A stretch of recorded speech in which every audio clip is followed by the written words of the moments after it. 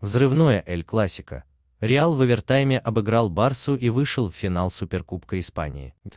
Сегодня, 12 января, состоялась первая Эль Классика в 2022 году. Барселона и Реал сыграли в первом полуфинале Испанского Суперкубка. Победу в овертайме добыли мадридцы 3-2. Подробнее в материале РБК Украина. Барселона со старта стала действовать достаточно агрессивно. Реал же старался действовать быстро, отвечая разящими контратаками. И одна из них сработала. На 25-й минуте Бензема обокрал в центре поля Бускеса, после чего разрезной передачей вывел Винисиуса на свободное пространство в штрафной. Бразилец, находясь под давлением со стороны защитника Барсы, сблизился село территории Стигеном и пробил в ближний верхний угол 1-0.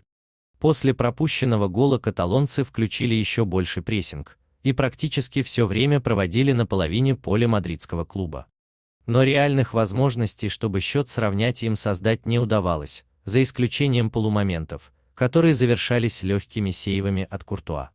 Однако, на перерыв сине-гранатовым удалось уйти при равном счете. На 41-й минуте Алвес закинул длинную передачу в штрафную Реала, где Люк де Йонг смог головой скинуть дальше на фланг на Дембеле. Француз, немного шатнув оппонента, прострелил во вратарскую, где Милита очень неудачно вынес мяч прямо в ногу того же Де Йонга, после чего рикошетом от штанги пересек линию ворот Куртуа 1-1. Во второй половине включился на полную Бензима. Сперва на 69-й минуте французский форвард проверил на прочность штангу ворот каталонцев. А спустя три минуты таки смог, хоть и со второй попытки мяч в сетку территории Стигена переправить. Сперва кипер Барсы, обводящий удар француза отбил, мяч отскочил к Карвахалю, который прострелил вдоль ворот, а Бензема оказался первым на добивании после игры территории Стигена 2-1. За несколько минут гола мадридцев на поле у каталонцев вышел Фати, который последний раз из-за травмы играл 67 дней назад.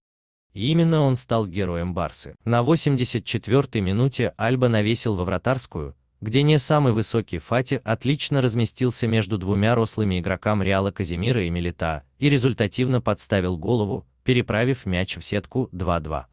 В последние минуты сине-гранатовые, которые доигрывали матч с ультраатакующим составом, пытались вырвать победу. Но в итоге основное время так и завершилось в ничью. А уже в первом овертайме сливочные вновь быстрой контратакой разбили всю оборону. Каталонцев, на 98-й минуте Казимира убежал в отрыв, отпасовал на Родриго, который прострелил сразу на троих партнеров по центру штрафной. Мяч таки достался Вальверде, который с помощью рикошета таки переправил мяч в сетку ворот Барселоны 3-2. Каталонцы пытались вновь счет в матче сравнять, но скорее были близки к тому, чтобы пропустить четвертый гол, нежели забить третий. В итоге в финальном матче сыграет Реал. Для мадридцев, к слову, это уже пятая победа в Эль Классика подряд. Это самая длительная победная серия сливочных с середины 60-х, когда мадридцы с 1962 по 1965 года побеждал каталонцев 7 раз подряд. Барселона Реал 2-3. Л. Де Йонг 41, Фати 84, Винисиус 25, Бензема 72, Вальверде 98. Барселона, тер Стеген Дани Алвес, Депай 78, Пике, Альба Ф.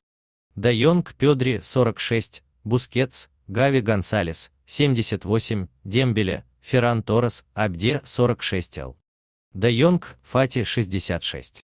Реал, Куртуа Карвахаль, Милитао, Начо, Менди Модрич, Вальверде 82, Каземиро Кроос, Асенсио, Родриго 67, Бензема Винисиус.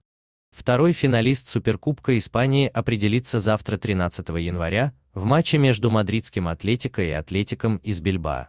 Финал состоится в воскресенье 16 января.